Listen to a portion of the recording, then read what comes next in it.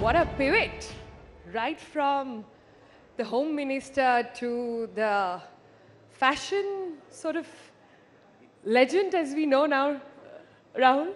Long way to go. a long way to go. All right, so ladies and gentlemen, we have Rahul Mishra with us at the Rising Bharat Summit, not because he's the first ever Indian designer to showcase at the Paris Couture Week, not because he's the first Indian designer to have won the very prestigious Woolmark Prize in 2014 at the Milan Fashion Week, and dare I say, not because his willing connection was sold across the globe in stores all over. He's here with us today because he does something very unique to luxury fashion. He makes it mindful. So, Rahul Mishra, take us through what and educate us mostly on what exactly is mindful luxury.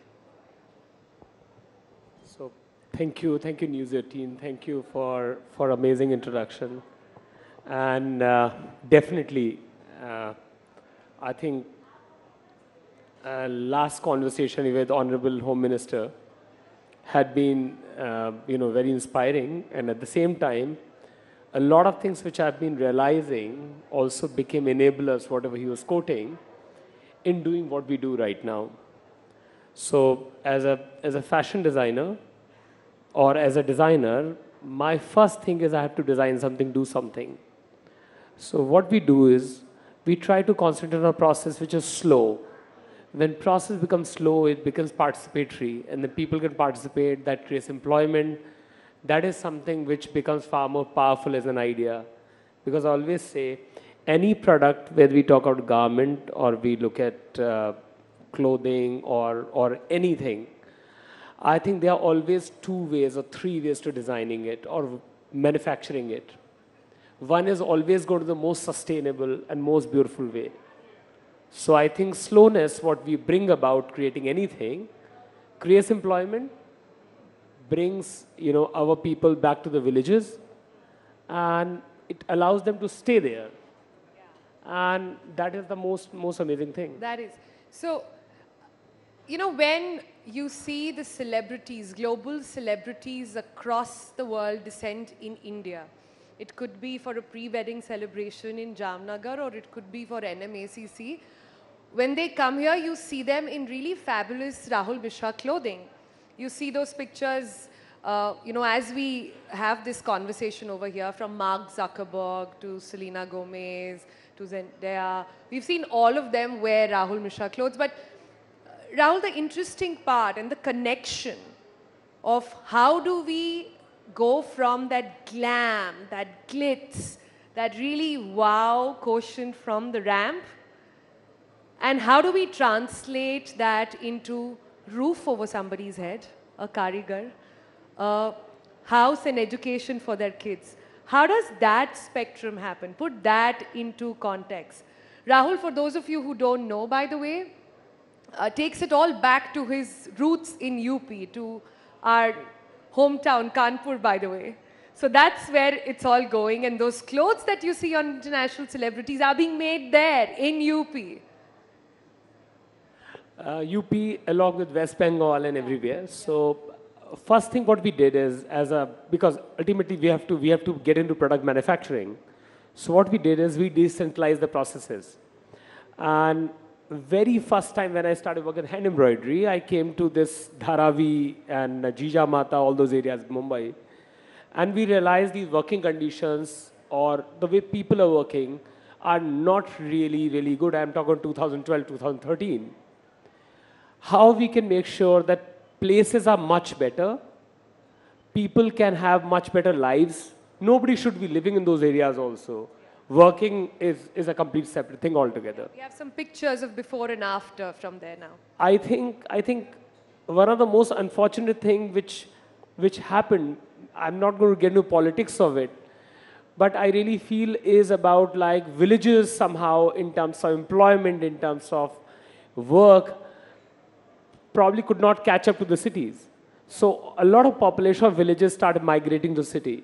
Even the drivers who we have at a home, first thing which brings them dignity is if they can make a pakka house in their village to show to the society that they are doing well in life.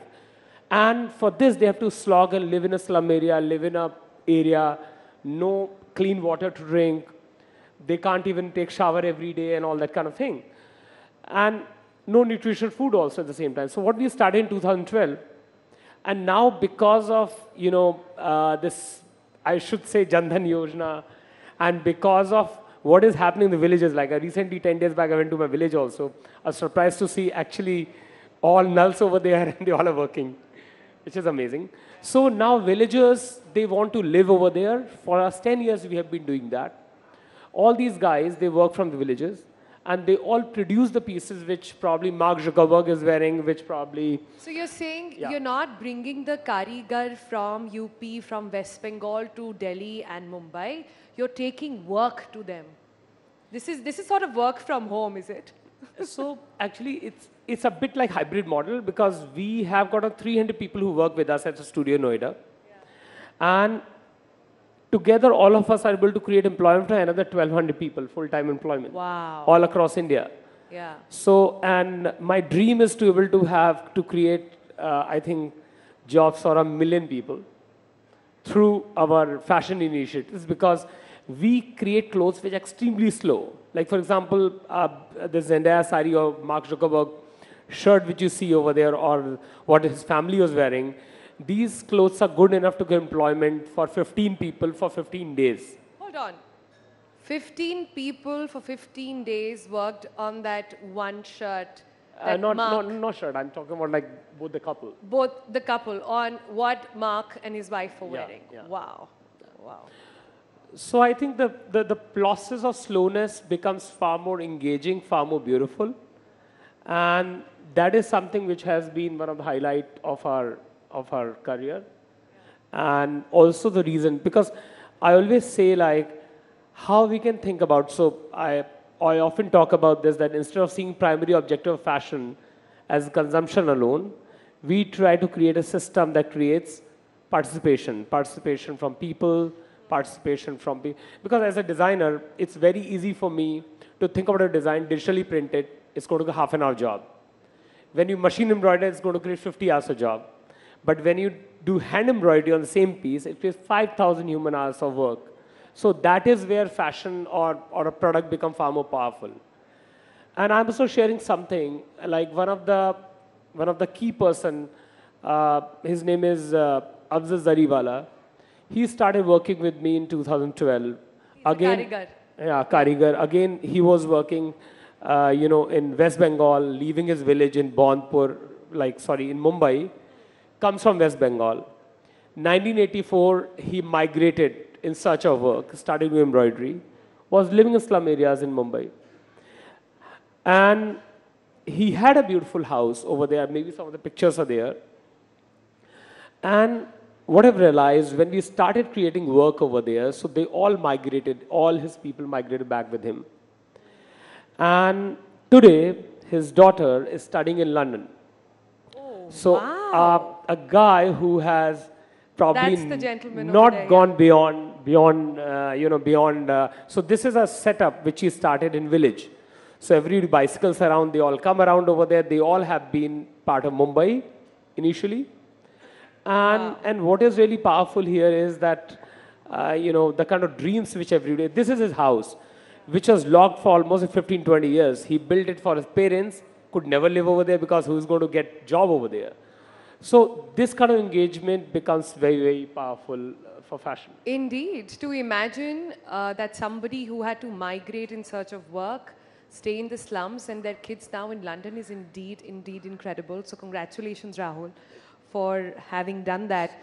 I want to sort of understand you know, this is India's moment in so many ways than one.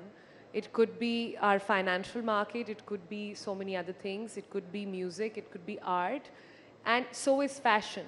So many Indian designers we know are showcasing abroad, are being talked about, and we see more and more celebrities, global celebrities, don the Indian sari with a lot of pride. Yours, of course, has made waves as well.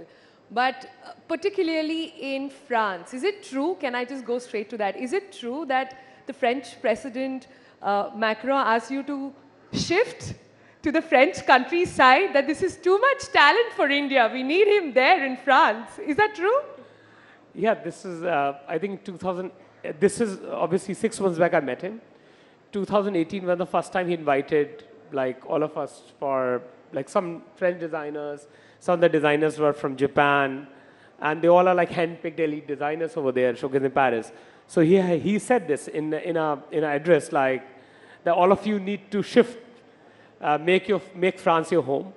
And then personally also when I met him like four or five times, he had been, kept telling me, when you're starting a, a business or atelier or something in Paris, so maybe it's also a good idea altogether when you look at France. Uh, obviously, my base is going to be in India always. Yeah. But yes, we are looking at like doing something in France as well right now. Not bad at all. So as we come to the close of this session, let me quickly get some spicy comments out of you, uh, Rahul. So you have designed for, you have dressed up so many celebrities, India and abroad. Tell me the one who's been the toughest to sort of please or which has been the most difficult brief to follow through? I think uh, some of the most difficult briefs are now, which I got yesterday for some, some big movement. Oh Obviously can't share that.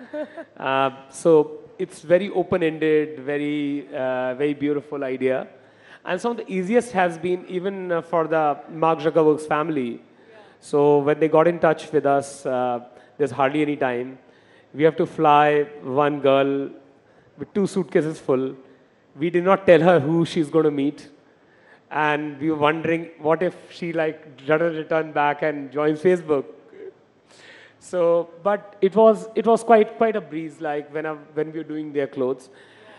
You know, idea behind this, sometimes whenever, like I do a lot of Western wear, but whenever these known people, when they get in touch with us, like President Macron, when we give, gift something to it, we gift him a kurta.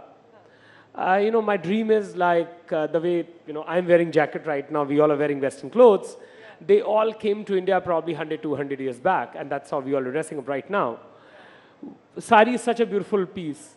Maybe something sari inspired should become a staple for every nationality person, every person on the planet to wear. And they should have something. Similarly, a kurta, which is so comfortable, should be staple in every person's wardrobe on the planet. And this is one small little mission which I have to, uh, to achieve. So that's why there was no brief. When Zendaya wanted to wear, like she's the one of the most stylish, you know, most, I would say most talked about global icon. Global icon. When, they, when she was coming, the first time we did one jacket for her, second time I said like, you have to wear a sari. There's nothing else. But give me a name, yeah, now, Rahul. Come on, give us a name. Who's, okay, get, tell us the most fondest memory. So recently, I, I must say, when, when Rihanna was coming to India, uh, sometimes unachievable targets are given. Like, so I could not do that because we decided to do something, but then within two days, there was a fittings in Milan. Impossible for hand embroidery. Most of the times, because we only work with hand, most of the times it's the only problem is that we cannot turn around things really fast when we work with slow idea. All right, with that, we're going to wrap up this session. But Rahul Mishra, you've made Mark Zuckerberg, who wears only grays and black, wear the Bengal tiger with pride. You've made Della, you've made Selena Gomez, who wear the most chicest clothes, get a bit of India in them. So congratulations on that and congratulations on everything you're doing. And please do not move to the French countryside. We need you here, don't we, guys? No, I'm very much here, and thank you, thank you so much. Uh, thank you, everyone, for, for hearing. Thank you. Thank you. Rahul Mishra, everyone. Thank you so much, Rahul. Thank you for coming, and thank you for speaking to News 18. Uh, that was Rahul Mishra, luxury fashion designer. He's, of course, creating